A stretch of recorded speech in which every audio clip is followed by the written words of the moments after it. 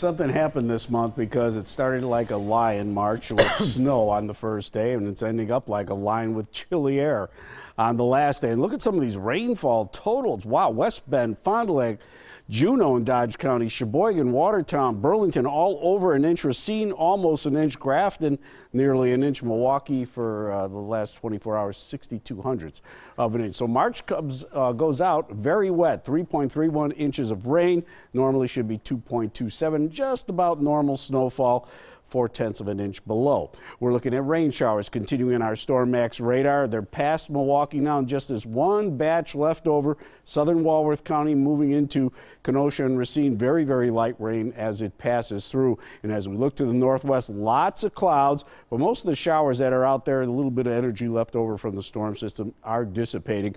Also, want to mention they just issued a flood watch. This is a flood watch. It runs till 1 o'clock in the morning on Monday. The Fox River near New Munster starting to rise, so uh, be careful if you live on the Fox River there. Temperatures right now 37 in Waukesha, 37 West Bend, also Beaver Dam down to 36 in Port Washington, 42 in Milwaukee, still 40 in Racine. The wind speeds are coming out of the northwest, not very strong at the moment, so there's really no wind chill out there, but the temperatures are going to be cold overnight. 34 in Milwaukee, 32 Waukesha, West Bend, all the way down to 31 Beaver Dam.